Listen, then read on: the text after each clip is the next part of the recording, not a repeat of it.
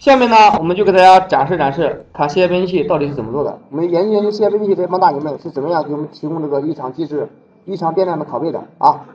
那你看，下面我们要处理这个类吧？处理这个类是不是要写这个类的构造函数、西构函数，还有这个类的拷贝构造函数啊？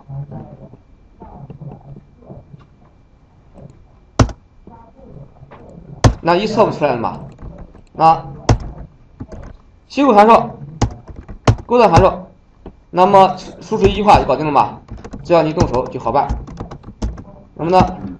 那么呢？把的构造、构造，哎，构造、构造函数度相当于 OK，那来个西构函数吧。那你测一把就成嘛。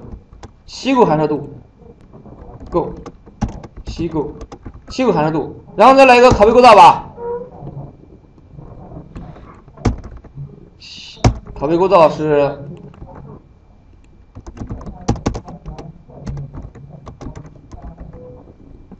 拷贝构造度是吧？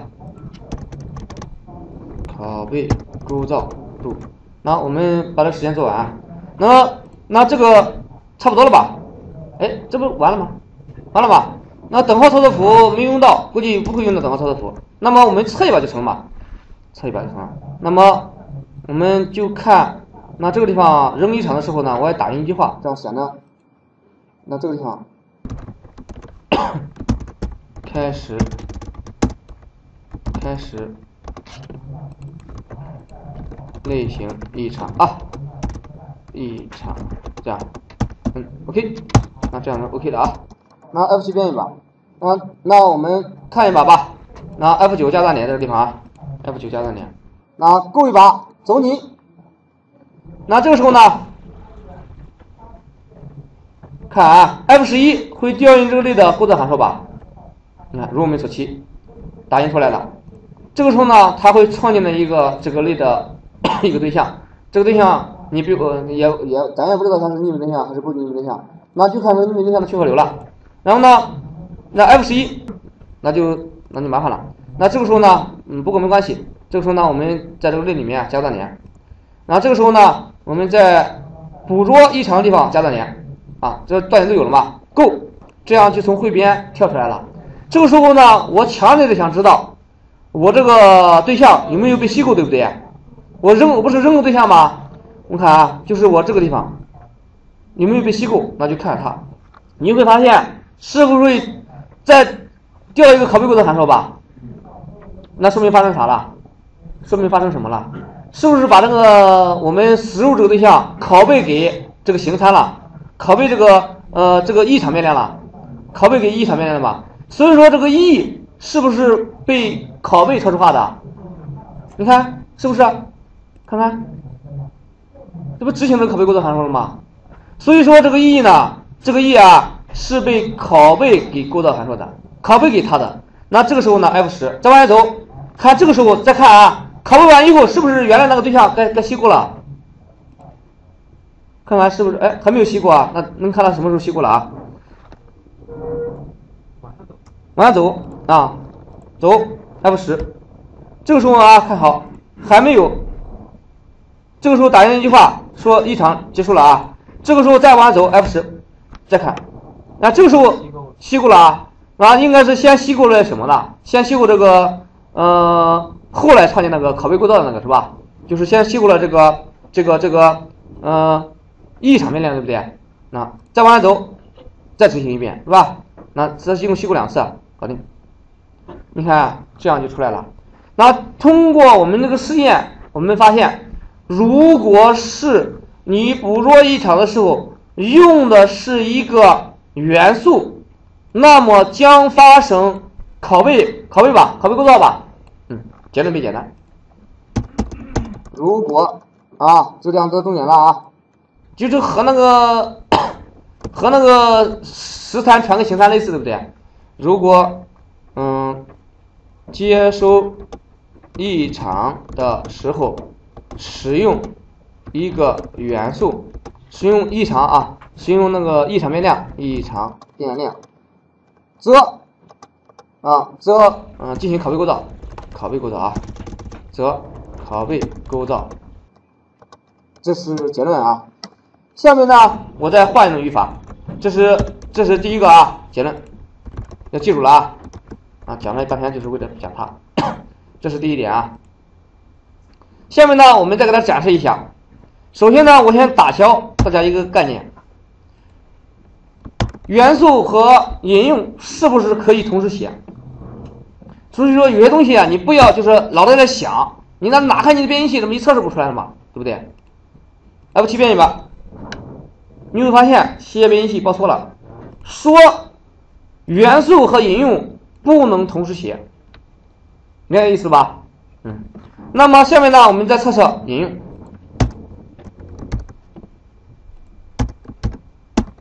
如果我们传引用了，我们看 C 编译器是如何构造这个。引用的呃异常变量是这意思吧？嗯，那么看看构造函数被执行了多少次，对不对？那我们就直接跑结果吧。这个地方应该你想也能想得出来吧？你不应它应该不会再什么了吧？那这个 else 加 F 九把所有的断点拆掉，我刚弄了好几次。OK 啊，逼着我使用绝招，对不对？那么呢，那够一把。刚才我去了好几次，那个变量没有没有。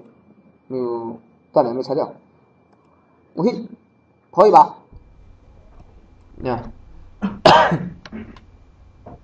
构造函数被执行了一次，这个时候呢是抛出异常的，就是抛出异常的时候构造了一个对象，对不对？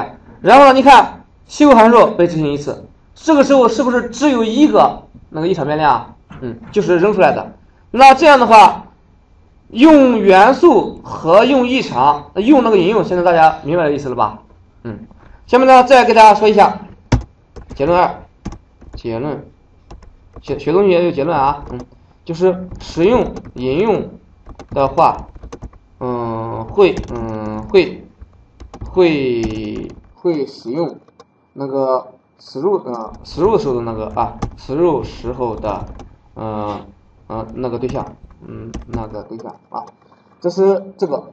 下面呢，再给大家测测什么呢？测指针。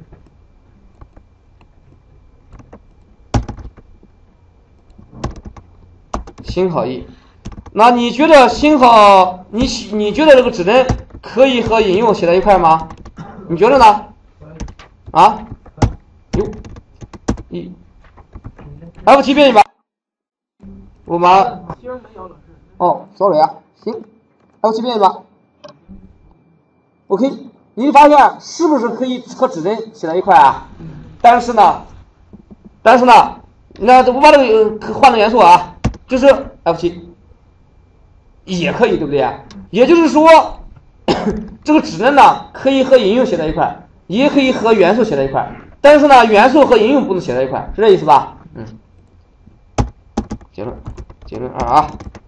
结论二，结论三啊，啊，指针可以和，哎，这句话问的好，引用啊，等会跟你讲啊，指针可以和引用，有引用，嗯嗯，元素元素写在一块，但是呢，但是元素和引用不能写在一块啊，啊，不能写在一块啊，那么下面呢，我们再搞。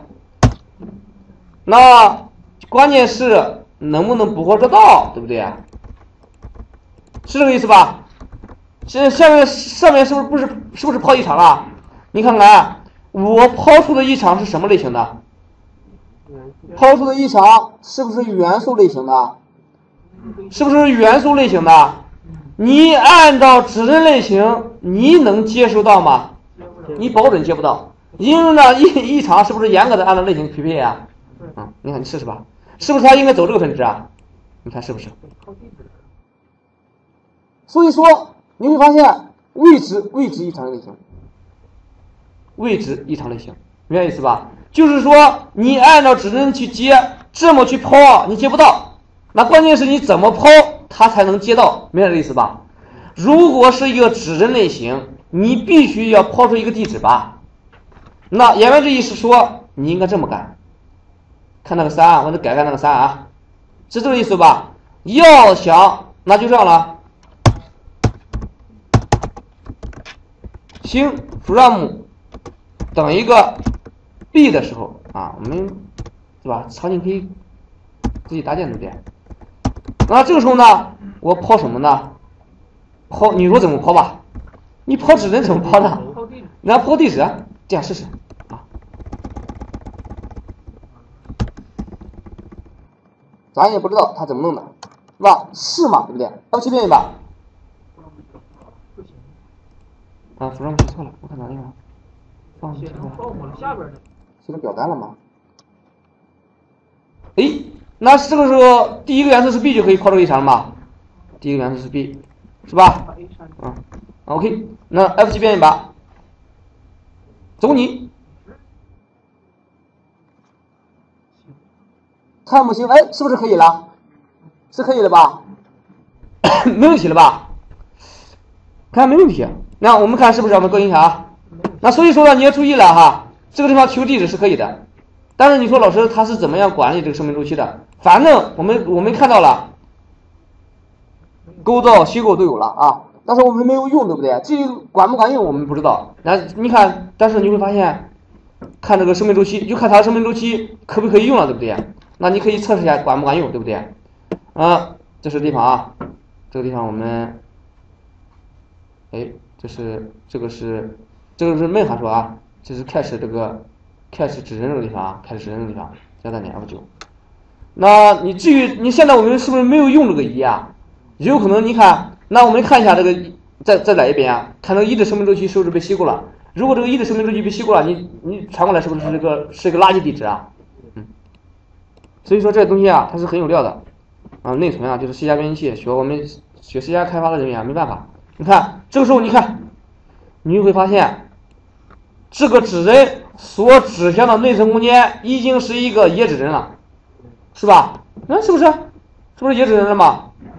所以说呢，你要注意了，有时候是为什么说有些有些有些人写的代码不稳定啊，不牢靠？这个地方是个垃圾指针了，他不知道不知道原理嘛，他是一个临时变量往那一写，麻烦了。所以说呢，如果要想抛出指针呢，你还真得这么干。C，你说咋干？啊，弟兄们，啊，牛吧？是不是我们需要动态的控制这个变量的生命周期啊？那牛，那牛了。那这个语法过不去吗？那你有的时候是这样的啊，那呢，F 七变一个，再走你，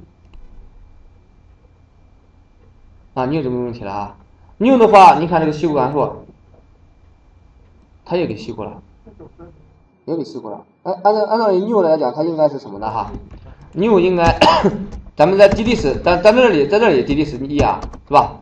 你看它也给吸过了，嗯。哎，是不是以前的？对，那这个我们应该主发什么呢？我们应该来个 C，对不对？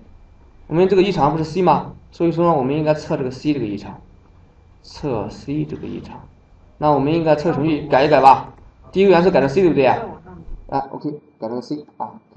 那注意啊，总结啊，看 F7 变一个。那这个时候你会发现，new 这个东西没问题吧？但是带来一个带来一个潜在的问题。如果你不定历史，是不是这个又有内存泄露啊？没没有好的招，没有好的招吧？那么没有好的招，但是呢，那你你必须这么这么干吧？你看这样的话是很笨拙吧？你看在底层库里边 new 了，在在这个上层函数里面 delete，是不是搞得很笨啊？嗯，所以说一般这个方法也不好。那说来说去说一说来，你总结出规律了吗？是不是用引用是最好的，对吧？就 C 加编辑器它会监管着这个变量的生命周期，对不对？啊，如果你用引用的话，C 加编辑器它会监管着这个变量的生命周期。所以说结论是最简单的啊。这如果是来一个对象的引用，那么需要在抛出的地方进行 new，对不对？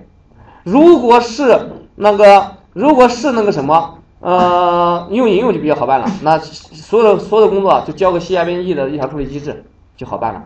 所以说呢，结论也不简单，用引用，啊，用引用。那这样我们就讲完了。嗯，你看，这个点正好。